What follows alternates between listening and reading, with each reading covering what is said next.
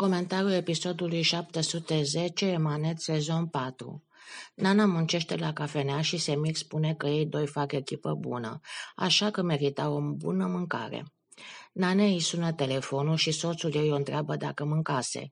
Ea răspunde că fusese preocupată să aibă timp de așa ceva. Poiraz ajunge acolo și spune că vor mânca împreună. Shahin și Jansel ajung la salon.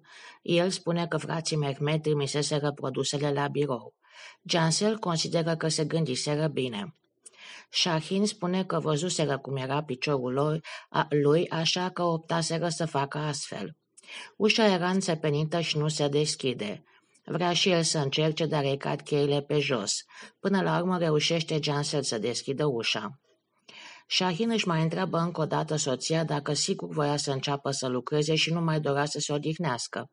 Femeia spune că e gata de treabă, vor avea frumoase câștiguri.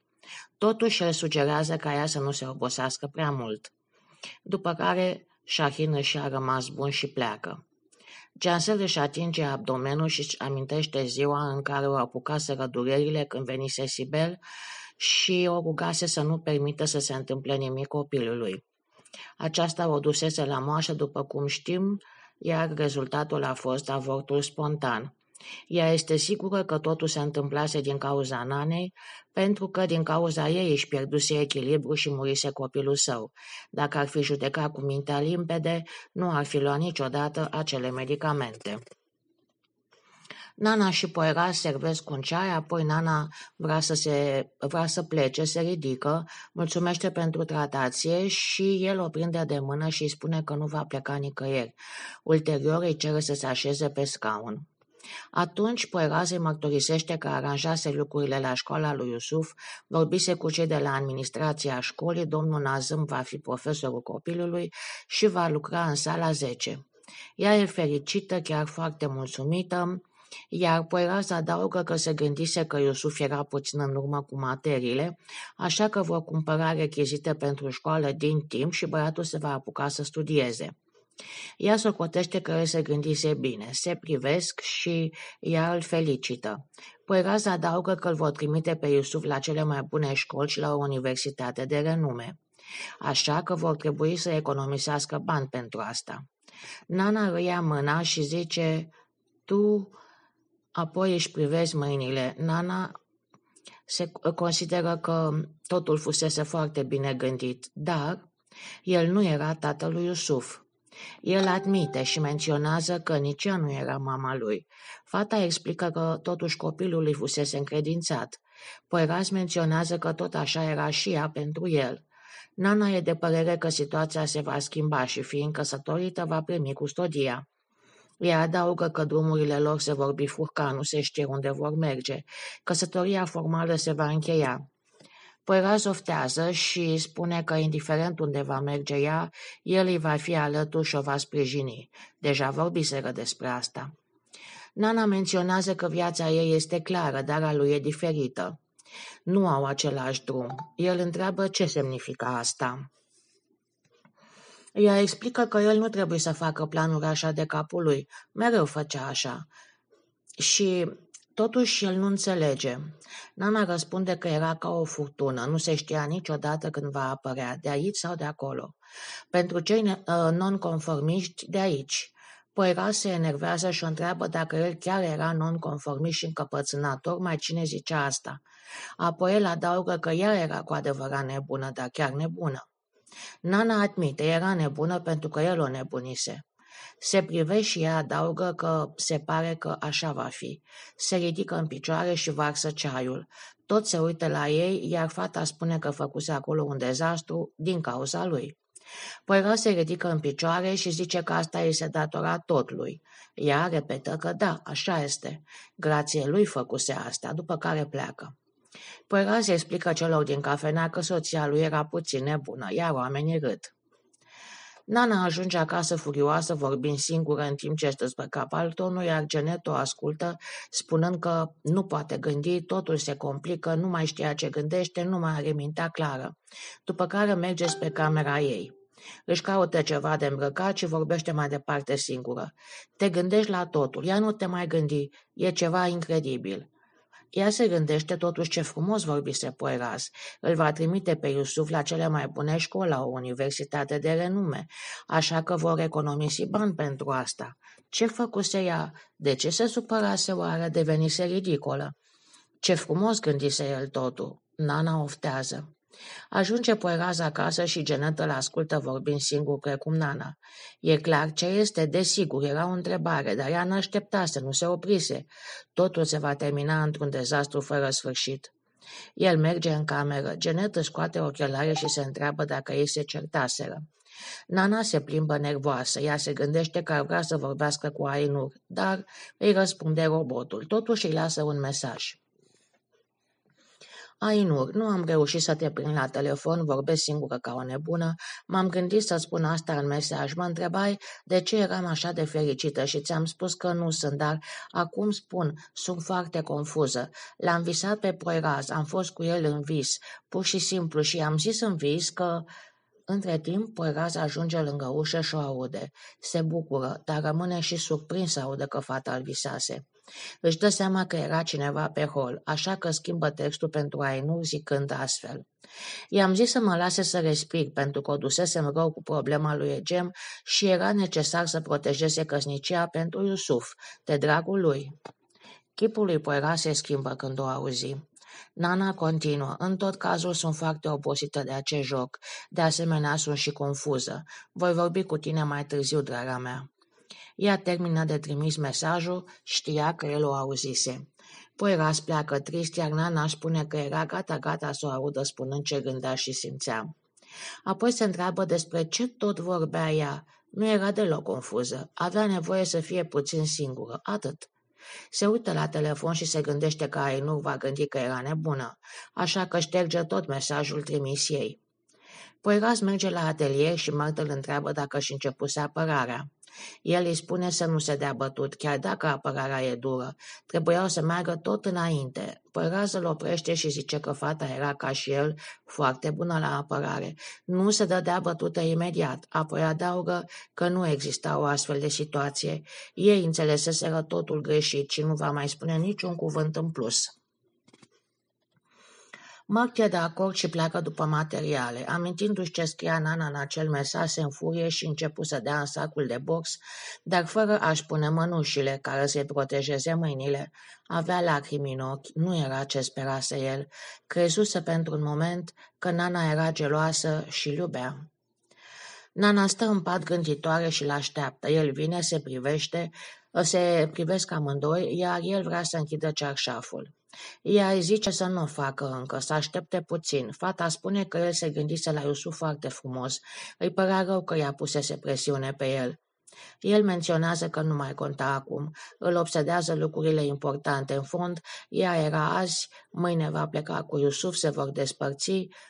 Pe el îl dureau foarte tare acele cuvinte, le rostise cu greu, iar pe Nana o durea să le asculte. El adaugă că se va termina și cu asta basta, pe urmă amândoi vor fi salvați. Nana, surprinsă, spune că el era o persoană bună, dar diferită de ea și Iusuf. El zice că așa simplu ei vor înnota și vor înnota, vor ajunge la fund și acolo se va termina totul. Dumnezeu le va da răbdare să ajungă pe ultimul drum. Iar îl întreabă de ce spune așa. Oare era prea dură? El zice că era dificil pentru că era complet nebună. Atunci ea mărturisește că el era nebun. În fond, ce-i făcuse ea? se întreabă fata. Jansel îi aude din hol. Poera spune că ea nu ascultă de nimeni, mereu o să-și pargă nasul. Nu-i posibil să se facă înțeleasă. Jansel se apropie și mai mult de ușă și ascultă. Nana spune că nu era nevoie să o înțeleagă, nu trebuia să o facă. Poiraz o întreabă dacă dovedea proastă educație dacă încerca să vorbească cu ea. Nana e supărată. Janet spune că de ieri sunt tot așa, se ceartă. Jansel opinează că era bine astfel pentru soacra sa. Cele două femei pleacă. Poira zice că dacă vor vorbi mâine va fi în bani, nimic nu se va schimba. După care îi urează noapte bună și vrea să închidă cearșaful. Nana vede că avea mâna sângerândă și îl întreabă ce îi se întâmplase. El răspunde că ce se întâmplase, se întâmplase și gata. Ea se întreabă oare ce se întâmplă cu ea în fond. Cine știe pe unde trecuse furtuna, așa că închide șarșaful și merge la culcare furioasă. Poeraz rămâne gânditor. Nana face patul și Poera se îmbracă. El o întreabă dacă era gata.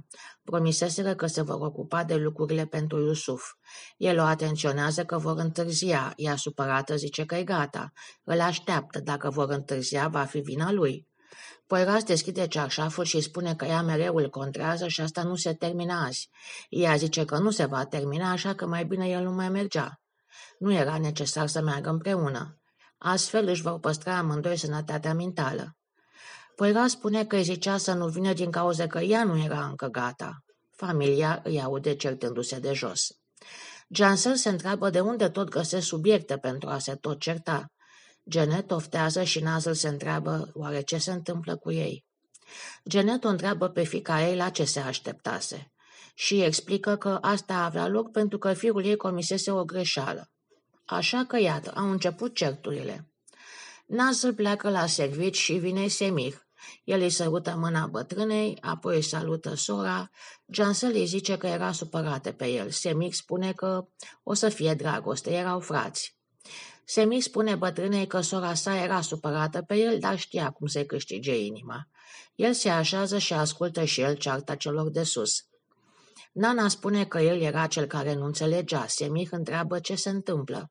Janet răspunde că se întâmplă exact cum prezisese ea. Nana adaugă că nu era nevoie ca el să meargă, pentru că ea face cumpărăturile pentru Iusuf. Poera strigă că, efectiv, astăzi se va sinucide. Semir zâmbește.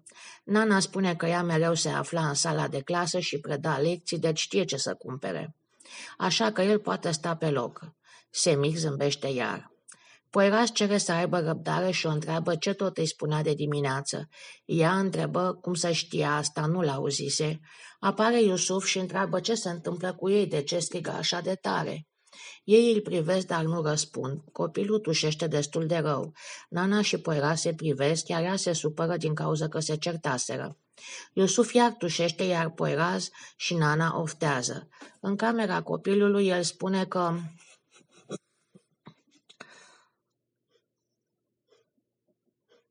că se simțea bine. Totuși, Nana verifică dacă are febră și îi zice să nu se ridice din pat. Băiatul vrea și el să meargă la cumpărături și spune că a mâncat supa și a luat medicamentele, însă Nana îl mângâie și zice că acum trebuie să se odihnească. Se uită la Poiraz și apoi spune copilului că vor merge amândoi la cumpărături, iar el se va odihni. Fata îl mângâie pe Iusuf, iar Poiraz îl privește. Iusuf îi întreabă de ce se certau. Poirazi explică că uneori așa se mai ceartă adulții pentru că nu se pot pune de acord, dar nu se întâmplă nimic rău. El întreabă copilul dacă își dorea ceva din partea lor. Băiatul răspunde că avea nevoie de un suport pentru creioane. Poiraz spune că are multe, tatălui făcuse așa ceva. Iusuf spune că asta înseamnă că el um, învățase foarte bine la școală. El zice că profitase de toate cursurile la maxim și avusese alături cea mai frumoasă fată din clasă. Iusuf zâmbește și o privește pe Nana, care devenise serioasă. El spune că le va găsi în magazie. Apoi ies și el își șoptește soției sale că trebuie să se liniștească, pentru binele lui Iusuf. Nana zice că e liniștită, el începuse cearta. El se miră. Asta era oare starea ei de calm? Nana îi spune să aibă grijă de starea lui. Ajung în salon, tot se uită la ei și Nana se roșește la față. se explică că ei pleacă după cumpărături, deoarece Iosuf are nevoie de multe lucruri. Semico întreabă pe Nana dacă putea veni la cafenea după ce termina de făcut shopping-ul. El explică că avea nevoie de puțin ajutor. Fata răspunde că se va duce. Poera spune soției sale că e timpul să plece, alminte întârzie. Nana zâmbește lui Semih, iar Janet îi privește.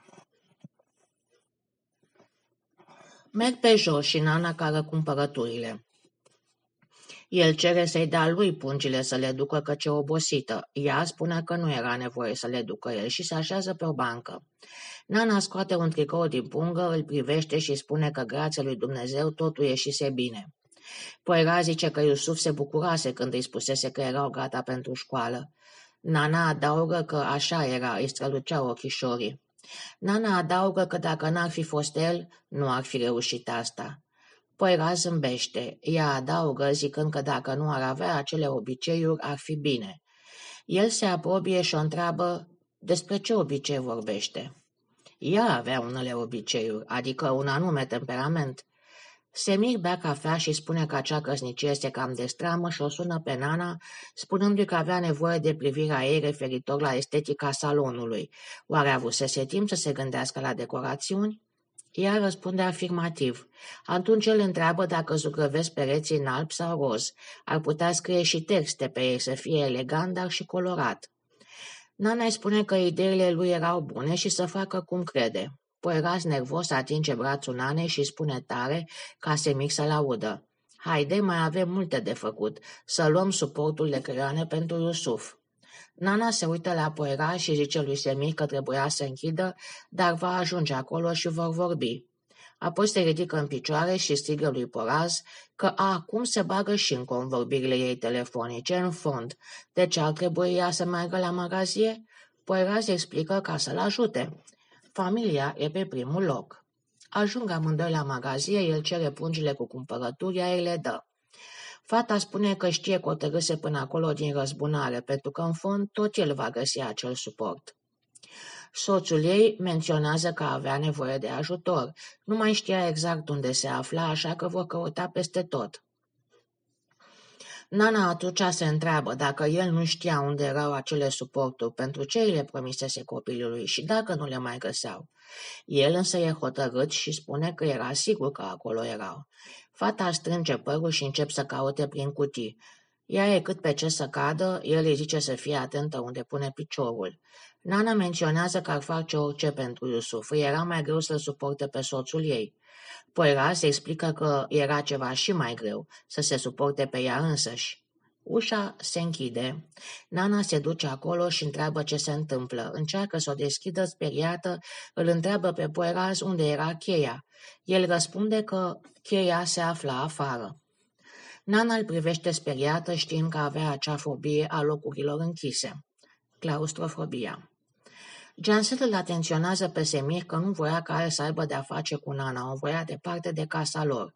În plus, dacă Poeraz află de intențiile sale, o să-i culeagă oasele de jos și se va porni apoi împotriva ei. Jansel afirmă că nu voia ca el, ca el să-i strice ei liniștea. Janet vrea să le ofere niște sarmale, însă Jansel spune că fratele ei are treabă și se grăbește să plece. Janet rămâne mirată de faptul că cei doi frați erau cetați. Semir sărută mâna, man, mâna bătrânei, își privește sora și pleacă. Ibo aduce mâncare pentru soția sa că nu mâncase la prânz, dar ea nu poate gusta nimic. Avea o stare de vormă care nu-i permitea deloc. Ibo își dorea ca ea să zâmbească și să mănânce, dar femeia nu reușește. El opinează că era timpul ca ea să-și facă niște analize. De ceva timp nu se simțea bine. Ainur intră și întreabă dacă poate face curat în biroul lui și el îi permite. În timp ce făcea curat, el primește telefon de la cei cu catering care îi aduc la cunoștință că toate pregătirile erau gata pentru logodnă. Procurorul spune că nu mai voia nimic, că logodna se anulase și, din păcate, uitase să-i anunțe. El zice că va acoperi toate cheltuielile, însă logodna era anulată. Furios dă cu mâna peste ceașca de cafea și încearcă să curețe cu șervețele, după care Ainur îl ajută. Fără să-și dea seama, ea îl ia de mână ca să o întoarcă pe partea cealaltă, unde putea ajunge să, șterge, să șteargă stropii de cafea de pe cămașa lui. El o privește, dar nu-și retrage mâna. După ce ea îl șterge, uh, mai șterge puțin uh, biroul și în acest timp telefonul lui sună iar. El crede că este tot ceva în legătură cu Logotna, dar de data asta era cineva care suna de la spitalul și șafla ca să anunțe că mama lui avusese un accident noaptea trecută și se afla în operație. Prin urmare, amândoi pleacă la spital. El se plimbă nervos, gândindu-se cum de nu văzuse mama lui acea mașină mare. Ainur încearcă să-l liniștească. Doctorul iese și spune că operația avusese succes, nu se mai punea problema vieții, dar fusese rănită rău coloana și era posibil ca ea să nu mai poată merge. Sinan merge să-și vadă mama care îl învinuiește pe el de accident.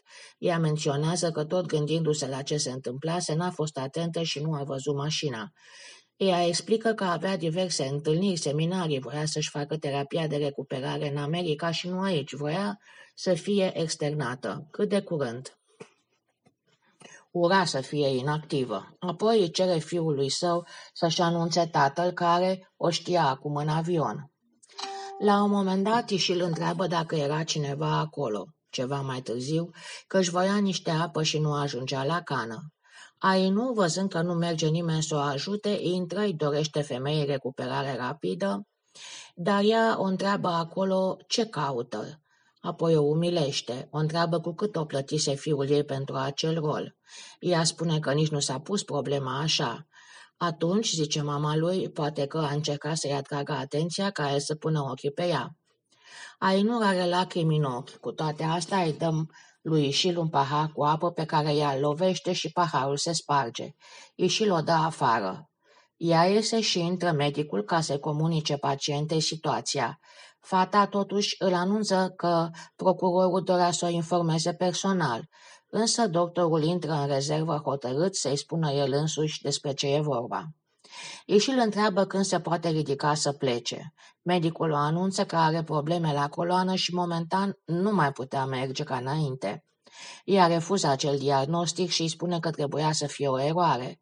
Atunci intră Sinan, care o privește cu milă pe mama lui cu părere de rău. Nu voise ca ea să afle astfel, dar așa au decurs lucrurile.